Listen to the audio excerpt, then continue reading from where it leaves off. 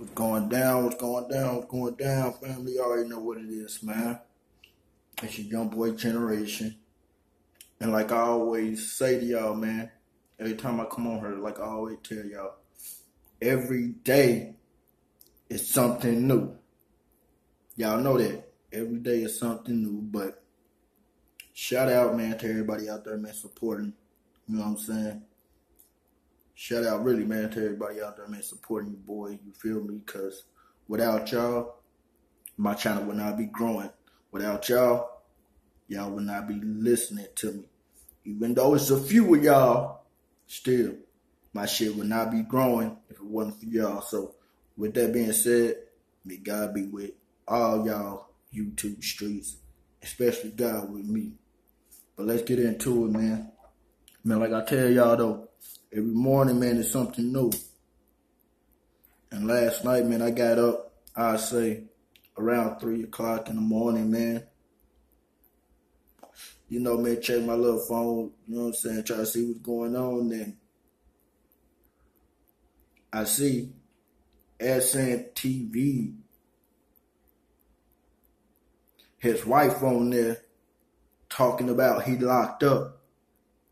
Now, remind y'all, every time I come on this motherfucker, I always say, every day is something new. Every day something is going on.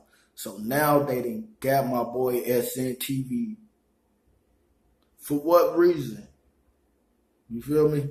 I was trying, man, to find out, but you know, you know what I'm saying, man? Motherfucker kept saying, man, don't put the business out there. Don't put the business out there.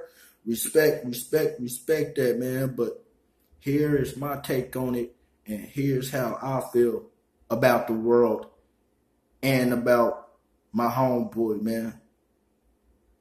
As black people, we already know how fucked up it is in America.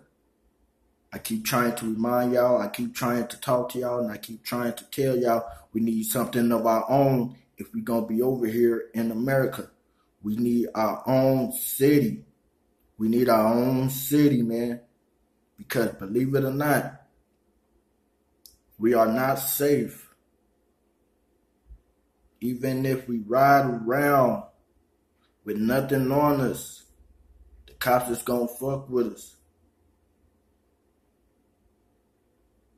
even if we ride around with guns or whatever the case may be, as long as the guns is in your name and you don't got one in the chamber, everything should be straight if you know your laws. It depends on where you at in Oklahoma. I'ma just say it like that. It depends on where you at in Oklahoma. But shout out man to SNTV game, man.